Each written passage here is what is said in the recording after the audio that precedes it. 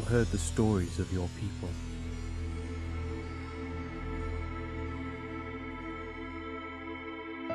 How they fought.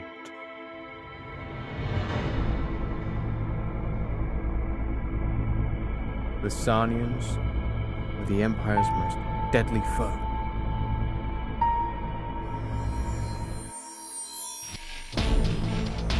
They were a symbol of hope.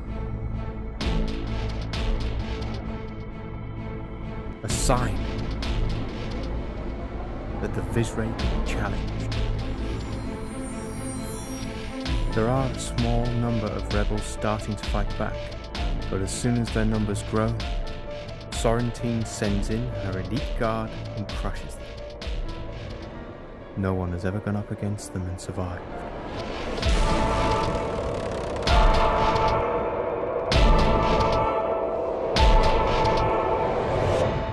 I'm going to kill her, you know. I know.